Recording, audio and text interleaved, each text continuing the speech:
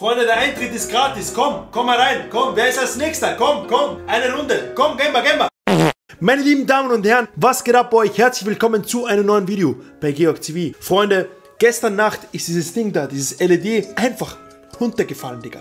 Um 6 Uhr in der Nacht. Und ich bin aufgestanden wie ein Nilpferd und ich guck, alles ruiniert. Sogar das Bild da oben, was man wahrscheinlich gerade nicht sieht, war auch am Boden, alles kaputt, Digga. Und ich denke mir so, an was hat's gelegen, Digga? An was hat's gelegen?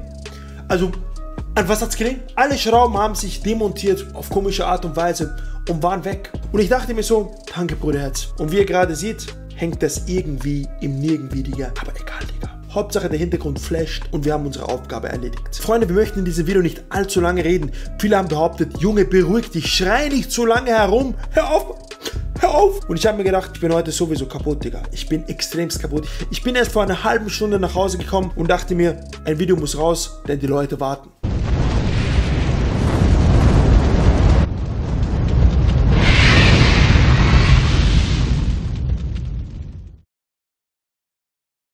Und heute kommt ein Video über einen Jungen, der mir privat täglich Nachrichten schickt und speziell jetzt in letzter Zeit mich schon langsam bedroht. Es geht um ein Video, was ich in den letzten Tagen hochgeladen habe. Da ging es um dieses Mädchen, was mir intime Fotos geschickt hat.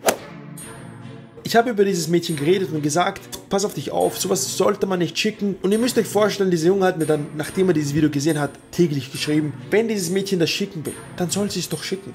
Wenn du es nicht annimmst, dann möchte ich es gern annehmen. Und ich dachte mir so am Anfang, Junge, halt dein Maul, Digga.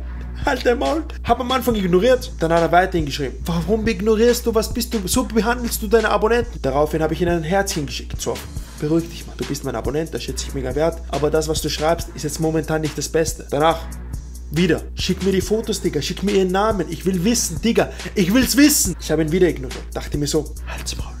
Dann hat er versucht von links und rechts Nachrichten wieder zu senden. Dies, das. Täglich, Freunde, täglich. Und ich dachte mir so, wie kann das sein, dass man so abhängig ist von solchen Fotos, dass man unbedingt solche Fotos haben möchte von dieser Person. Das, das ist unnormal, Digga. Das ist wirklich unnormal. Es ist manchmal echt traurig, Freunde, wie sehr man an sowas hängen kann. Dann kam ein fetterer Absatz, wo gesagt wurde, du bist kein guter Mensch, du bist kein guter YouTuber. Du kannst dies und jenes nicht. Von einem, der mich wirklich gefeiert hat, kamen Nachrichten, wo du dir denkst, Bruder, der größte Hater, Mann. Die abonnieren. Dies, das, wo ich mir denke, Bruder, muss das sein, Mann? Muss das sein? Das ist wirklich ein Abonnent von mir ist, der mich feiert und mich in der nächsten Sekunde, nur weil er diese Fotos nicht bekommt oder ihren Namen, einfach mich deabonniert, mich hasst und mich sogar bedroht. Warum schicke ich den Namen dieses Mädchens oder warum erwähne ich sie nicht in meinem Video? Erstens mal, weil ich sie beschützen möchte. Ich habe einige Zuschauer hier da draußen, die wahrscheinlich gerne wollen, dass sie Bilder von ihr bekommen, so gratis Onlyfans in diesem Sinne. Und ich denke mir so, dieses Mädchen sollte langsam in Vernunft kommen, weil ich bin ganz ehrlich, Bilder, die einfach so random geschickt werden, Digga, obwohl man die Person nicht kennt, das ist nie gut und war nie gut. Und zweitens, weil sie nur meine Videos feiert, habe ich das Gefühl, entnehme ich etwas von ihr, das ist nicht richtig, Freunde. Das ist etwas,